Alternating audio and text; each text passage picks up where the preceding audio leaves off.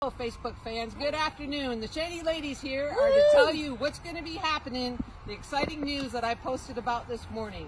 We have a lot of things in store. We had a, quite a few things in store in March, We but did. the COVID came around and that put a damper on our things, but we're still hanging in there as, as a lot of our customers are, and we are trying to keep your interest going through this season. we have lots of good things going on, and my southern sister here, Kay, Hey. we do have our masks. We've been together for so long, we're like family.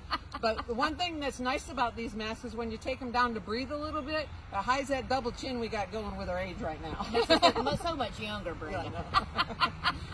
so the first thing that we're going to do is we are going to have a flower power jive at five. Flower power jive for five is what we're doing, and we are going to have a perennial of the week. It's going to be announced every Friday on Facebook, Friday morning, and I am going to tell you a little bit about the perennial that we are having on sale that week.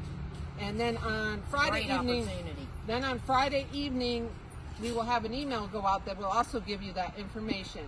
And then that's going to be flower powered jive for five every Friday morning. And then a second thing that we're going to have is Raymond's Roundtable. We thought it would be pretty interesting to have um, an employee interview just to tell you a little bit about the gals that have been working for the Raymond's Raymond's Dream Team and Christine for how long we've been here, what brought us here, what we like about the place, where we're from, just a little bit of information.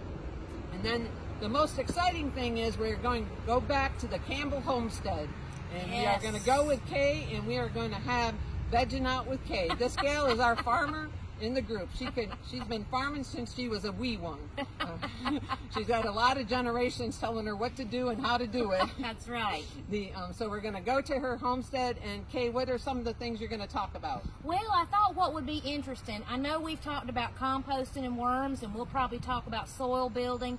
But most importantly, I want to teach you guys how to grow your own food. We've had a huge resurgence this year of everybody wanting to be more self-sustaining, so we certainly want to support that. So I'll tell you how to grow, when to grow, what to grow, um, and then maybe we might even do some things about preserving food or what do you do with all the food that you grow. So I'm super excited about that because it means we might get to eat, Brenda. That's the um, are you growing some biscuits? no, but I'll make some for us to sop up my tomato gravy. Oh my god. Oh, But anyway, so that's what we have going on. We're pretty excited about it. We hope that you are too.